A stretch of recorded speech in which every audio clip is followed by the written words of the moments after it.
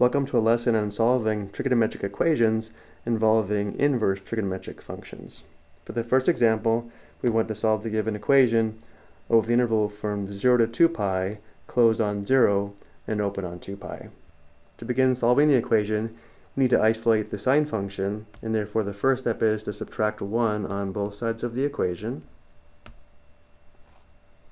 Simplifying, we have 2 equals 20 times sine of the quantity x minus 3, and 1 minus 1 is 0. The next step is to divide both sides by 20. Simplifying, 2 twentieths is equal to 1 tenth. We have 1 tenth is equal to sine of the quantity x minus 3. In order to solve the equation for x, we need to undo the sine function by taking the arc sine or inverse sine of both sides of the equation. So we'll take the inverse sine of both sides.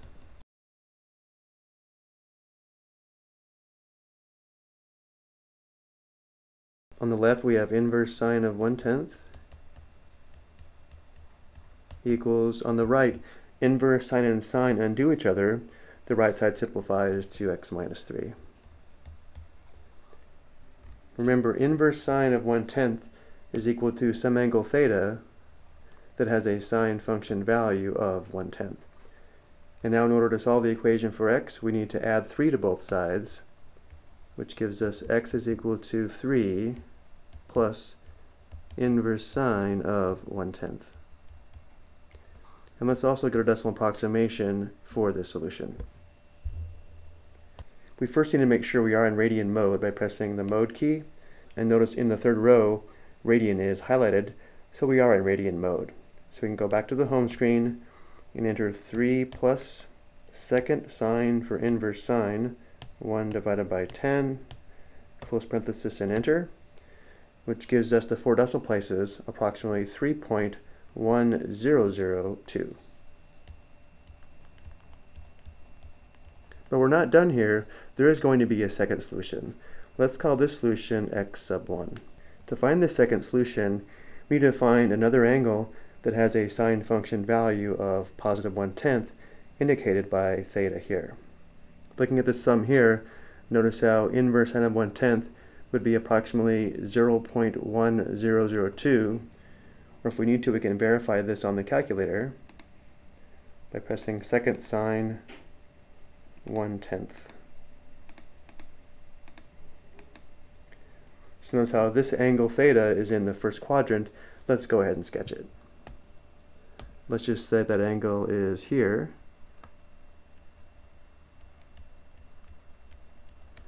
Well, remember, sine is also positive in the second quadrant as well as the first quadrant. So we need to find the angle in the second quadrant that has the same sine function value of 1 tenth. Well, that angle would have the same reference angle as this angle here, and therefore the terminal side would be approximately here.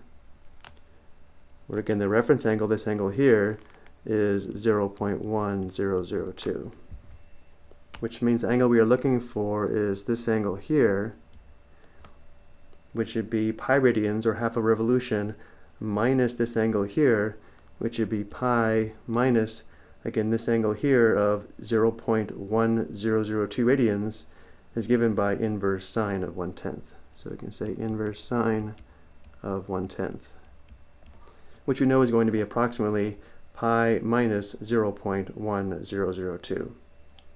So to find the second solution, we substitute this angle here for angle theta, which is given by inverse sine of 1 tenth, which means the second solution, x sub 2, is equal to 3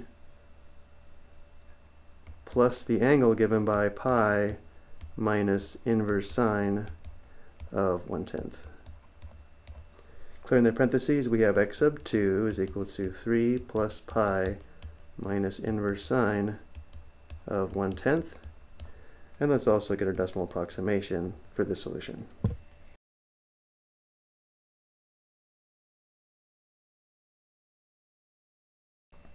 To four decimal places, we have approximately 6.0414. So again, our equation does have two solutions over the given interval. Let's take a look at a second example.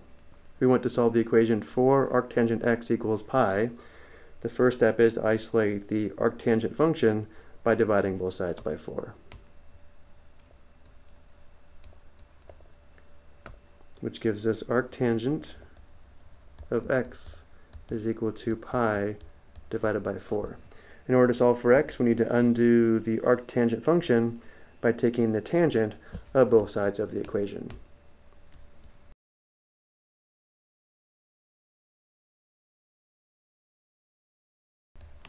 Simplifying on the left, the tangent function and arctangent function undo each other. The left side simplifies to x. We have x equals tangent of pi divided by 4 radians. Now we should recognize pi over 4 as 45 degrees. So if we look at the triangle on the right, if this is a 45, 45, 90 right triangle, we can label the two legs 1 and the hypotenuse square root 2. And since x is equal to the tangent of pi over 4 radians, or 45 degrees, and tangent theta is equal to the ratio of the opposite side to the adjacent side, tangent pi over 4 is equal to 1 divided by 1, which is equal to 1, giving us a solution of x equals 1. For the last example, we want to solve inverse cosine of x equals inverse sine of 3 sevenths. In order to solve for x, we need to undo the inverse cosine function by taking the cosine of both sides of the equation.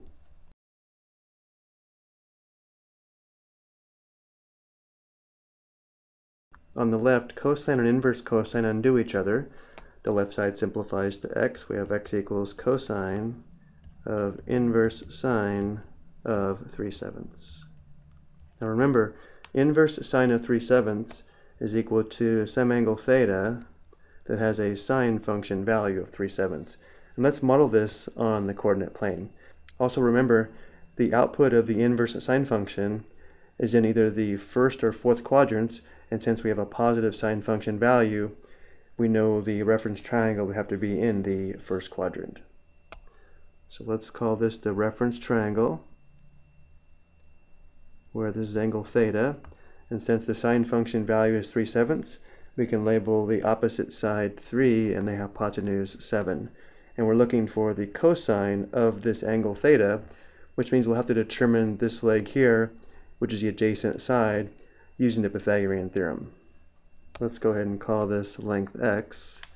Using the Pythagorean theorem, we know that x squared plus 3 squared must equal 7 squared which gives us x squared plus 9 equals 49.